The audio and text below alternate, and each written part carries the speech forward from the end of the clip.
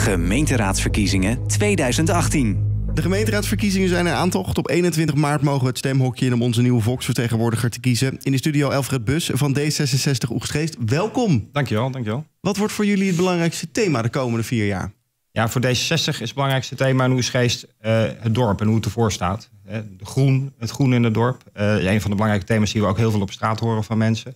Uh, en daarmee ook meteen een stapje naar de duurzaamheid en hoe we dat verder gaan doen de komende jaren. Daar willen we graag voorop lopen als D66. Dus dat is voor ons echt wel een van de belangrijkste thema's de komende jaren. Dus vooral zit ik dan even te kijken, niet in een, in een, in een gezinssituatie, maar echt even wat, wat breder en echt kijken. Nou ja, hoe het dorp eruit ziet. Uh, gewoon het groen in het dorp, hoe het onderhouden wordt. Uh, er zijn ook veel discussies over bomen en het uh, snoeien of het verwijderen daarvan en wat er dan voor terugkomt.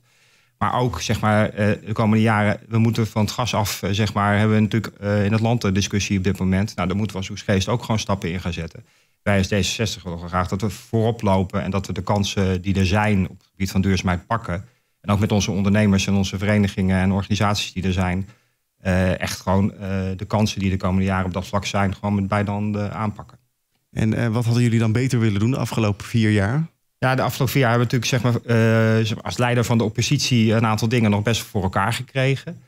Ehm, nou, ik denk met name op het gebied van regionale samenwerking en echt met de raden om ons van de gemeente om ons heen samen een aantal thema's aanpakken. Ja, daar hadden we echt veel meer stappen willen zetten. Daar hebben wij als D66 aantal initiatieven ingenomen. We hebben een paar weken geleden nog met raden in de regio bij elkaar gezeten om te praten over de jeugdzorgfonds-initiatief. Maar goed, ja, daar moet echt heel veel meer gebeuren. En daar kijken we ook onszelf altijd op aan. Dat moeten we gewoon met elkaar doen. Je hebt het inderdaad over uh, verschillende raden. Dan hebben we het over uh, ja. de Leidse Regioraad, zoals Leidse regio. het genoemd wordt.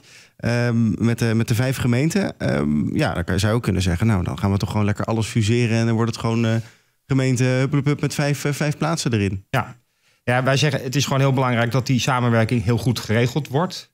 Er zijn, gaat gewoon heel veel in om. Dus heel veel belangrijke thema's voor mensen die gewoon regionaal besloten worden. Heeft uh, Oesgeest nog een burgemeester als het aan jullie ligt straks? Uh, nou ja, de komende jaren zeker nog wel. Uh, want die hebben we op dit moment gewoon. En die is heel goed bezig, Emilie Eens. Uh, maar we constateren ook dat we nu niet als raad aan tafel zitten om de besluiten te nemen die belangrijk zijn. En dat we vaak pas achteraf dat voorbij krijgen. Dat we een zienswijze mogen instemmen om voor een hele grote hoeveelheid geld die we beschikbaar moeten stellen. De jeugdzorg, maar ook voor gewoon economie en wonen. Ja, als we als Oesgeest daar echt een stem willen hebben, denken wij dat we gewoon met elkaar samen in de regio besluiten moeten gaan nemen. En dan moet je met elkaar heel zwaar samenwerken en, en een tafel hebben waar je samen dat besluit kan nemen. En dan is voor ons fusie ook gewoon een hele goede optie om dat te regelen. Maar we moeten gewoon stap voor stap naartoe werken. We moeten zorgen dat Oesgeest daar een stem in heeft. Dat we gewoon ook naar het dorp toe, dat Oesgeest Oesgeest blijft. En dat de gemeente of het bestuur van de gemeente dan een andere vorm kan krijgen in de toekomst. Ja, dat is dan gewoon de beste keuze die we met elkaar moeten maken. Waarin onderscheiden jullie van de rest van de partijen in Oesgeest? Uh, ons een heel belangrijk thema, waar we denk ik ook de laatste jaren dat hebben kunnen laten zien, is dat we gewoon dingen samen doen met organisaties en uh, mensen in het dorp. Er zijn heel veel initiatieven in Oesgeest.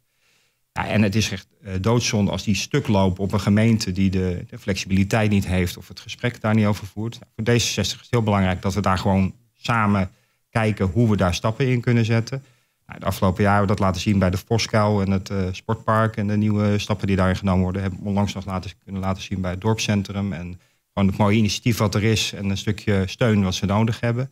Ja, daar staan wij als D66 voor. Dus uh, we gaan graag de komende jaren met iedereen in gesprek. Om te zorgen dat de initiatieven die er zijn ook gewoon echt tot hun recht uh, kunnen komen. om dat te laten gebeuren hebben jullie een flink aantal stemmen nodig. Ik zou zeggen, kijk in de We hebben een flink aantal stemmen nodig. Roep uh, Oegstgeest op om op jullie te stemmen ja. 21 maart. Ga ik doen.